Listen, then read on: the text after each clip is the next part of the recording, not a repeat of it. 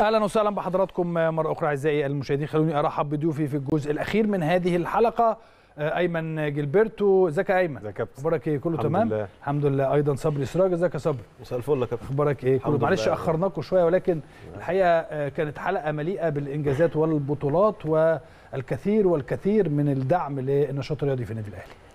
يعني الحمد لله ال ال ال كل أسبوع معانا كاس النهارده ما شاء الله. عندنا عندنا الحفلة كلها. الحمد لله. فيعني آه، سهرة جميلة وإحنا كنا قاعدين بره مبسوطين بنتفرج و- و- وكابتن خالد بيستعرض ال- الإنجازات اللي حصلت في النشاط الرياضي كله. الحقيقة حاجة تشرف وشيء عظيم جدا اللي- بيحصل. آه، تطور كبير في ألعاب كتير. ألعاب كتير كنا بعاد عنها زي كرة المايه مثلا سنين كتير قوي ما بناخدش فيها ال- الدوري وبعدين بنرجع. آه، البطولات اللي غابت في السنين اللي فاتت بترجع. البطولات اللي موجودة بنأكد عليها وبنستمر وبنحقق إنجازات أكبر في الحقيقة. كل ال- ال- الحالة العامة في النادي السنة دي الحقيقة تستاهل تستاهل كل جمهور الأهلي يكون فرحان وكله يكون مبسوط تستاهل حلقة قد دي ومرة واثنين وثلاثه عشان نستعرض كم الإنجازات اللي حصل السنة دي بالذات. الحقيقة حاجة تشرف جدا جدا جدا. فألف مبروك لمجلس إدارة النادي الأهلي والجماهير والكل آه، حد اشتغل وتعب السنة دي عشان آه، نشوف المنظر اللي إحنا شايفينه ده. كم الكؤوس ده. عندك مجلس إدارة داعم وبالتالي يستحق الحقيقة ال- الاحترام ويستحق الكلمات الثناء اللي موجودة عليه في كل حتة. يعني كل ال messages اللي جاية لي في آه، آه، آه، هاشتاج العوضي في قناة الأهلي كلها الأول بيهني مجلس إدارة النادي الأهلي على الدعم الكبير الحقيقة في الوصول لهذا العدد والكم الكبير من الإنجازات. طبعا يا كابتن اسلام يعني النهارده زي ما مجلس الإدارة بيتعرض للنقد وكان بيتعرض للنقد لما آه، حتى بعيدا عن كرة القدم ونجاحاتها في بعض الألعاب الموسم الماضي كان فيه شوية آه، إخفاقات. يستحقوا كل ال- الدعم وكل الشكر والثناء إن الناس اشتغلت آه، يعني بشكل سليم.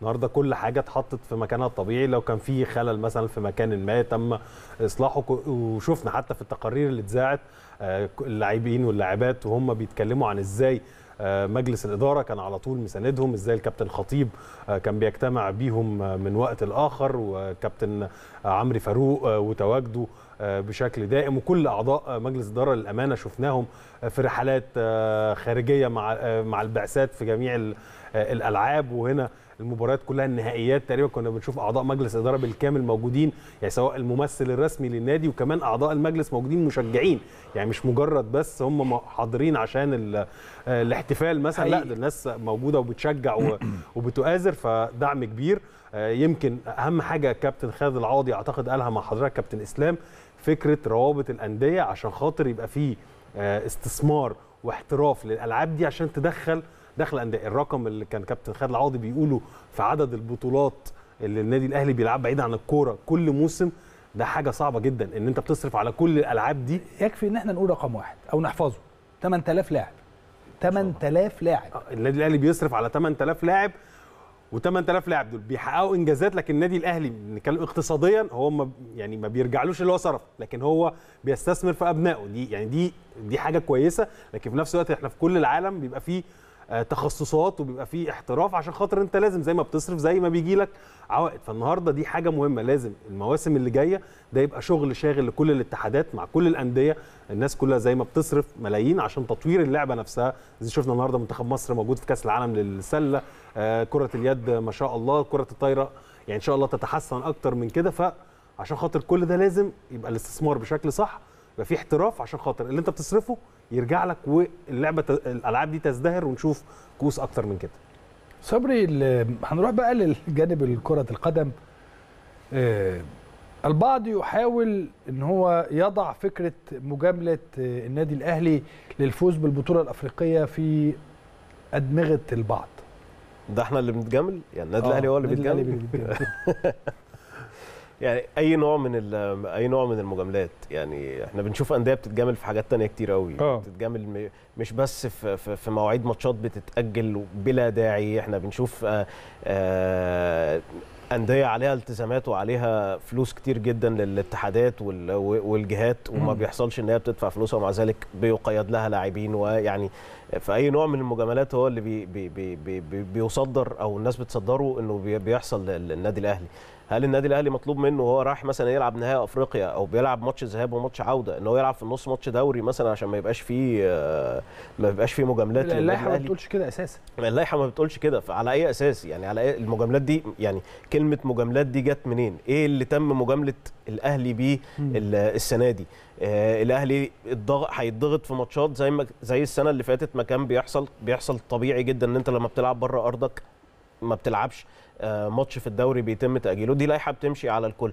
كون إن الأندية الأخرى اللي بتلعب في بطولات أفريقيا ما بتوصلش للأدوار اللي بيوصل فيها الأهلي أو بيوصل لها الأهلي وبالتالي ما بيتاجل لهاش نفس عدد المباريات أو ما بتاخدش ما, ما بتستفدش من ال ال الجزء ده من اللائحة لأن هم ما بيوصلوش للأدوار دي في البطولات. ده مش ذنب النادي الأهلي ده مش آه. معناه إن النادي الأهلي بيتجامل. ده معناه إن حضرتك أصلا ما بتقدرش توصل للحتة دي فما بتستفدش بال باللائحة.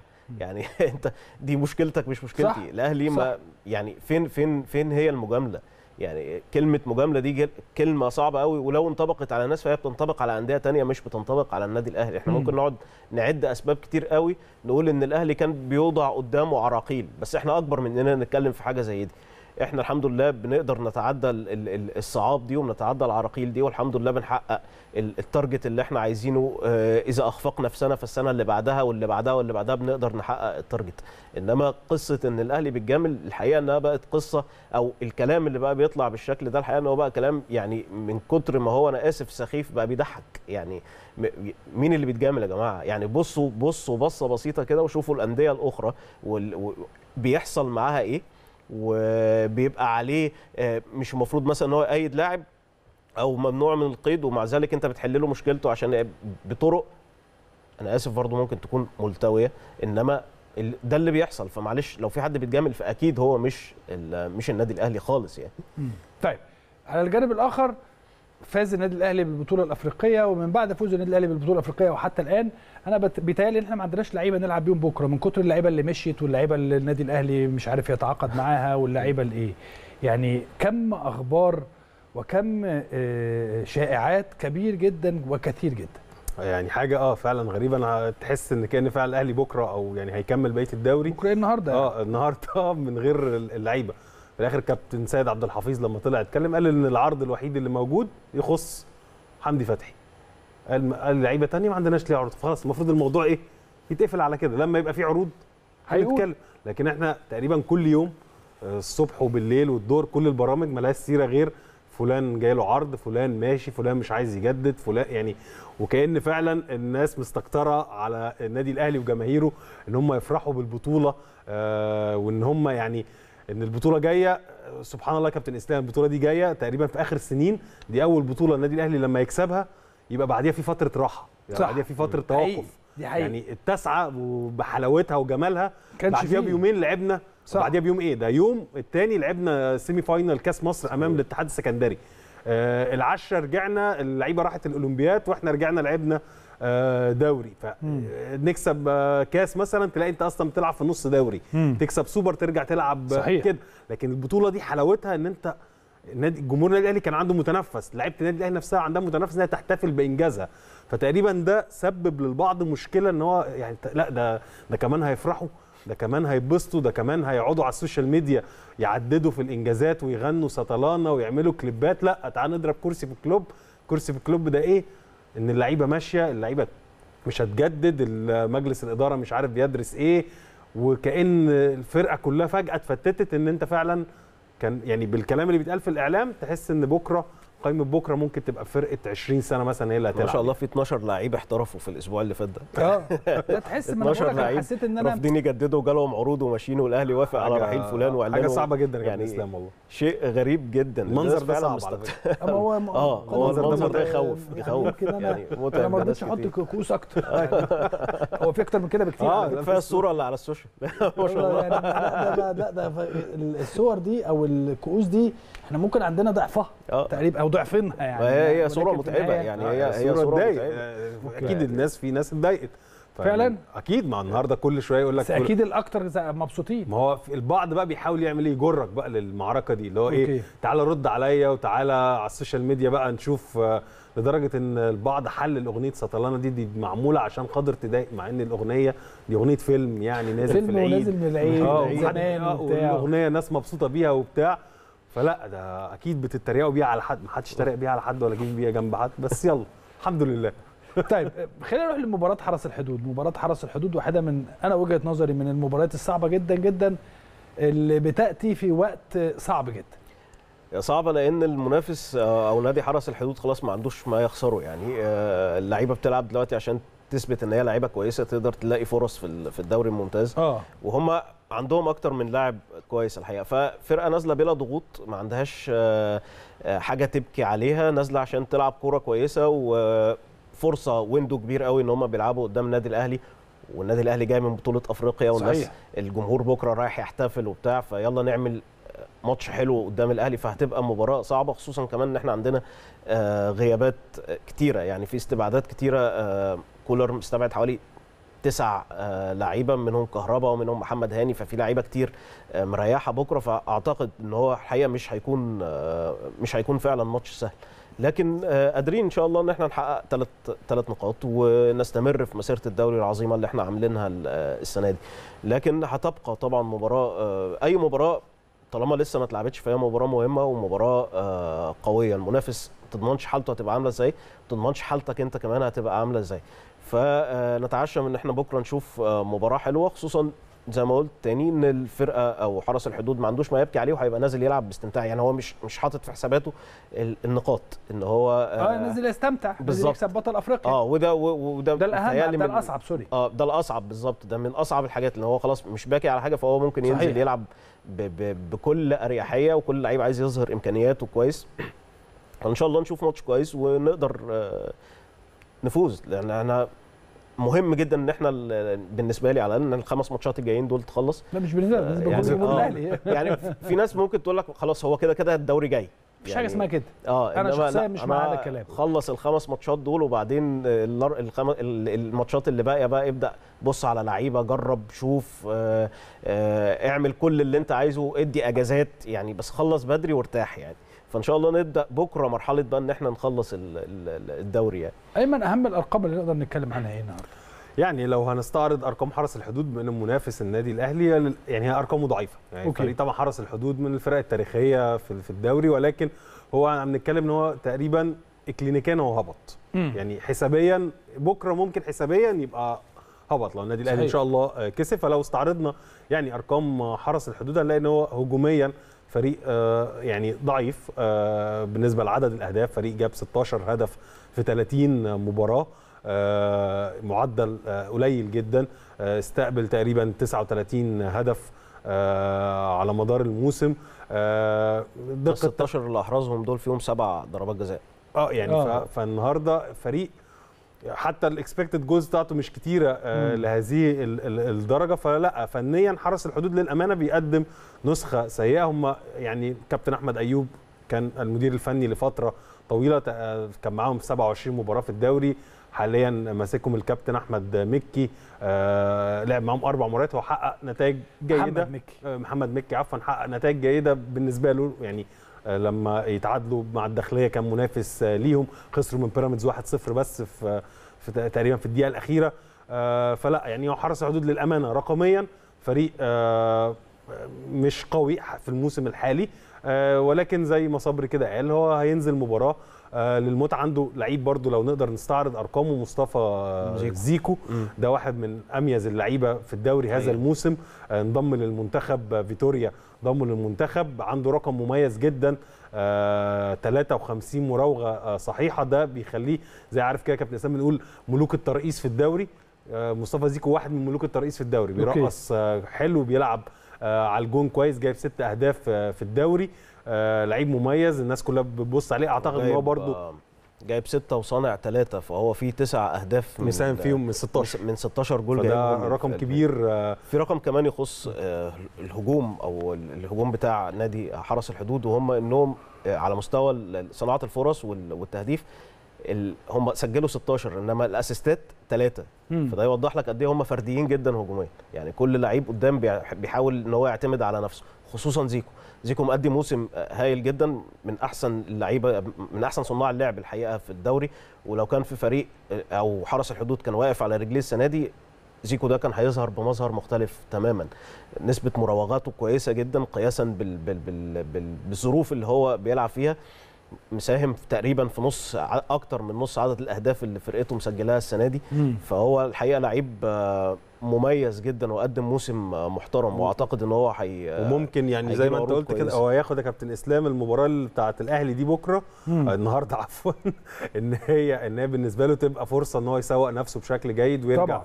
تاني يعني ينضم للمنتخب فكره إن لعيب في حرس الحدود بالإمكانيات والظروف دي فيتو ياخد عين فيتوريا إن هو يضمه مم. لقائمة المنتخب فدي حاجة كويسة ليه كلاعب وإن هو واضح إن هو promising وجاي يعني في في الفترة اللي جاية في الكرة المصرية. مين أهم اللعيبة اللي مريحهم كولر بكرة؟ كهربا محمد هاني طبعا في إصابة محمود متولي آه، فمحمود برضو مش ثلاث أسابيع. آه ثلاث أسابيع فبرضه محمود متولي مش موجود. آه في لعيبة بقى يا إما غايبة الإصابات إنما أبرز أبرز ناس مريحين بكرة هم محمد هاني وكهربا اللي هم آه المهاجم الأساسي وال back. right الأساسي عندك دول ب- بكره مريحين متولي برضو يعتبر مدافع أساسي فهو برضو آه، بكرة مش موجود الباقي في كريستو لسه ما جاش من آه، تونس. من تونس آه، في آه، رأفت خليل في آه، حوالي هم تسعة لعيبة بالظبط بكرة آه، مستبعدين من ال- من القايمة يعني طيب ال ال على الجانب الآخر هل هل ترى إن النادي الأهلي هيلعب بطريقته المعتاده ولا هيستنى ولا هي هيعمل إيه بكرة كولر؟ لا يعني أعتقد إن كولر يعني هينزل هو عايز فكرة تخلص الدوري على طول على قد ما يقدر آه، هي الطريقة المعتادة بتاعته. لو حتى زي ما حتى ال- ال- الراحات اللي إحنا سمعناها بنتكلم في كهربا ومحمد هاني. فحتى اللي هيلعبوا مكانهم إن شاء الله هم أساسا رجليهم في في, ال- في الملعب يعني, آه، آه. يعني حتى يعني بنتكلم محمد شريف لو البعض بس كان أكيد انتقد أو زعل من الفرصتين اللي ضيعهم في مباراة الوداد لكن يبقى محمد شريف هو هداف النادي الأهلي في الدوري الموسم الحالي. تسع أهداف أهداف، آه. وواحد يعني فرق بينه وبين آه، مابولولو مهاجم الاتحاد السكندري أعتقد ثلاث أهداف في هدافين الدوري ف... وعدد دقائق ومباريات أقل أقل بكتير منه، آه، طبعا من الفترة اللي فاتت. وكمان ال expected goals بتاعته 10 يعني من 10 أهداف متوقعة لمحمد شريف هو سجل تسعة فده معدل مميز جدا. لمحمد شريف آه. في الدوري أتمنى إن هو يبني عليه ويكمل عليه آه. لأنه آه، حرام يعني حرام هو بي بيروح كتير على المرمى لكن ساعات كده في انفرادات بيضيع حتى هو في الدوري آه، بنقول كده اللي هي إيه 1 ان 1 الواحد لواحد لما بيروح على المرمى بيضيع ثلاثة فده كتير لمهاجم النادي الأهلي هو بيبقى كتير الناس ممكن تنتقد الحتة دي. لكن في الآخر يبقى إن هو مهاجم آه، النادي الأهلي هداف آه، هداف الأهلي في الدوري آه، النادي الأهلي الأقوى هجوما. يعني برضو لو هنقدر نستعرض ارقام النادي الأهلي أقوى هجوما 45 هدف من حط لنا الارقام آه، يا شباب من. من 24 مباراة. يعني بيراميدز مع النادي الأهلي كأقوى هجوم لكن بيراميدز لعب ست مباريات أكتر من النادي الأهلي. آه يعني النادي الأهلي عندما يصل إلى ست مباريات الفارق هيبقى أكتر بكتير. طبعا هيعدي. آه، اذا لو ما جابش ولا جول. لا صعب قوي دي. طبعا صعبة جدا. آه، عن يعني المفروض إحنا لسه مستنيين عايزين نحط الدوري هنا كده في الحتة الفاضية دي. إن شاء الله يعني. طالما لسه ما جاش يبقى مش آه، ما أنا بقول يعني إحنا مستنيينه فلازم نجيب أهداف. يا مساعد آه سبع أهداف بس دخلوا في مرمى النادي الأهلي. في رقم برضو ممكن يبقى من الأرقام. يعني في نهاية الموسم لما نستعرض ال آه. ال- آه، لما نستعرض أرقام النادي الأهلي إن شاء الله بإذن الله في نهاية ال- الموسم نلاقي إن يعني بص 45 هدف في 24 مرة رقم كبير كمان الأهداف المستقبلة بقول لك سبعة كابتن إسلام يمكن في 2005 آه، الجيل بتاع حضرتك الرقم ده كان قريب بعدد ماتشات يمكن كان أقل شوية وقتها لكن كان برضو الجيل بتاعكم لما حسم الدوري كان داخل فيه تقريبا ممكن يبقى نفس عدد الأهداف ده أو يعني يا أكتر سنة يا أقل سنة آه. يعني حسب الذاكرة. فلا الأرقام السنة دي مميزة جدا. ف خمس مباريات متتاليين كده في في الدوري نقدر يعني إن شاء الله على مباريات الاتحاد السكندري تقدر تكون آه، بص أهداف نسبة الأهداف المتوقع استقبالها 37 يعني كان ممكن يخش في النادي الأهلي 37 جول لكن دخل فعليا سبعة. فعليا سبعة. ده هنا بيأكد لك المنظومة الدفاعية. واقفه على رجليها كمان لما لو عدى اللي بيعدي المنظومة الدفاعية دي بيصطدم بحارس قوي عامل كلين عدد مباريات كلين شيت كبير كبير, كبير جدا. فان شاء الله لا النادي الأهلي بكرة يلعب بطريقته آه، المعتادة وإن شاء الله نحسم المباراة آه، بشكل سريع عشان خاطر لعيبة الأهلي محتاجة تريح لأن شفنا امبارح آه، دكتور أحمد ثابت وكريم سعيد مع حضرتك وهم بيستعرضوا مباريات النادي الأهلي الموسم اللي جاي عددها عامل إزاي. 71 71 ده يعني لو. وصلوا كل النهائيات آه، يعني. فالنهاردة أنت أكيد هتبقى محتاج في النص إن أنت لعيبتك تعمل لها rotation بشكل معين وتريحهم وتلعب بلا آه، ضغوط يعني. طيب آه، أخيرا برضو يا صبري أنا عارف إن إحنا وقتنا كان قليل ولكن يعني الساعة بقت 3 خلاص فيعني داخلين على الفجر زي بتفكرني بأيام آه، مودرن وكابتن. فاكر زمان من 20 سنة كده. يطلع نقول نطلع فاصل أذان الفجر. الفجر ونرجع. هنعمل كده. هنطلع فاصل شكلنا اعداد الفجر ونرجع. عموما أخيرا يعني كيف ترى المباراة؟ هل هي مباراة دفاعية فقط من حرس الحدود وهجومية فقط من النادي الأهلي؟ ده ما أعتقدش إن حرس الحدود هينزل يدافع بس إحنا زي ما قلنا في الأول هو نادي هو خلاص هو نازل ينبسط يعني واللعيبة تظهر تظهر نفسها. فأعتقد إن هم مش ممكن يعني حتى لو ابتدوا بتحفظ شوية إنما مش هيستمروا متحفظين آه، طول الوقت. اللعيبة نفسها ممكن تبدأ تتحرر في الملعب عشان توري إمكانياتها أكتر وأهم فاترينا ليهم في الموسم ده هو ماتشهم مع ماتش. الأهلي يعني فأعتقد إن هم لا يعني مع الوقت هيبدأوا يدخلوا في ال game ويفتحوا ال game آه، آه، أكتر يعني مش هيفضلوا متحفظين طول ال 90 الوقت. دقيقة آه، أعتقد إن الأهلي بكرة مش هيبدأ full team هيبقى فيه راحة لبعض اللعيبة أو على الأقل مش كل التركيبة هتبقى التركيبة الأساسية في لعيبة. ما أعتقدش إن الشحات وتاو وال- والناس اللي هي شاركت وعبد المنعم وكل اللعيبة اللي هي لعبت عدد دقائق كتير الفترة اللي فاتت. لعبوا مع المنتخبات آه، كمان. ولعبوا مع المنتخبات راجعين من مباريات دولية ولعبوا آه، ماتشات عدد دقائق كتير. فما أعتقدش إن هو بكرة اللي هيبدأ فيهم مش هيكمل لنهاية المباراة واللي هيقعد على الدكة هيكون على حسب ظروف المباراة ممكن يشارك شوية في الشوط الثاني إنما الأهلي يعني هيبقى فرصة قدام حرس الحدود بكرة إنه مش هيلاقي الأهلي full team في ال في ال في ال أو بقوته الضاربة طول ال 90 دقيقة. وده ممكن يجرأ لعيبة حرس الحدود شوية إن هي تبدأ تدخل في في ال game يعني. آه، أيمن برضو هل أنت مع كلام صبري في إن الحرس هيلعب بشكل أو يعني عشان إحنا ما بنلعبش في full team مع إن أنا شايف إن أي حد هيلعب في النادي الأهلي من من مجموعة ال 25 أو 30 واحد اللي موجودين لأنه ده حصل خلال الفترة اللي فاتت بالكامل طبعا بمعنى صحيح. إنه أي مباراة أنت في أول سبع ثمان عشر ماتشات كان كرو آه، كان كولر بيغير كل شوية آه حد وبيغير في الهجوم كتير كنا حتى بالظبط. مع حضرتك هنا نبقى في حيرة مين, مين بكرة؟ آه، مين بكرة كده. اللي ممكن يلعب في فطبيعي إن أنت تجد. إن صحيح. آه. ال- آه لا هي الفكرة كلها إحنا بنتوقع إن حرس الحدود فعل يعني رقميا بكرة لو خسر من النادي الأهلي هو هيبقى رسميا هبط, هبط. خلاص ما عندوش فرصة تانية ولسه ما هبطش آه يعني هو رقميا ما نقدرش. نقول يعني ما نقدرش لأن لسه آه، عدد المباريات أعتقد لسه فيه يعني آه. عنده أمل بسيط لو لازم يكسب النادي الاهلي ويكسب كل الماتشات دي والفرق أسوان. يقع مش عارف مين يقع عشان يخش حتى في حزمه مواجهات مباشرة يعني قصة كبيرة كده فلكن ما نقدرش نقول رسميا إنه هبط يعني. أوكي. ما بكرة هيبان. بكرة هيبان. لو النادي الأهلي كسب إن شاء الله يبقى آه. خلاص رسمي. فالنهاردة هو ممكن يجي في بعض الأوقات هو عايز يتحرر. آه أبين قدرتي يمكن آه مصطفى زيكو يعمل له ترقصتين آه في المباراة يسجل هدف فيبقى حاجة جمالية ليه. فأكيد هيوص ممكن يوصلوا لمرحلة في المباراة إن هو يحاول يلعب لعب جاي لكن أعتقد هيبقى في الأول هو متخوف إن هو يلعب مفتوح. ف يعني النادي الأهلي بقوته الهجومية يستغل ده فينهي المباراة مبكرا بنتيجة. بسكور خصوصا النادي الأهلي الحمد لله. الموسم الحالي عالج ظاهرة. كنا إحنا بنتكلم فيها كتير الموسم ال- الماضي يا كابتن إسلام. استغلال الفرص. الحمد لله مع تتابع مباريات الموسم الحالي ال- نسبة الأهداف المتوقعة بتاعتنا بنستغلها بشكل أكبر. فدي حاجة المدرب حسنها واللعيبة نفسها حسنتها. فدي نقطة إيجابية فالنادي الأهلي. مباريات كتير السنة دي انهاها الشوط الأول. مباريات كتير السنة دي كنا بنقول كده ثلاثيات الأهلي مع كولر. مم. عدينا كده هتلاقي ممكن تخش في 10 مباريات في كل البطولات أو أكتر كمان. فأعتقد لا الحرس هيحاول إن هو في الأول ما يفتحش قوي. لو حس إن المباراة أو النادي الأهلي مثلا آه، مجهد شوية اللعيبة لسه مش ما رجعتش في المود بتاع الدوري قوي ممكن يحاول إن هو يبقى زي طلائع الجيش كده. هو في الأول الدنيا ما قفل قفل. بعد كده النادي الأهلي حتى جه الشوط الثاني جاب جون.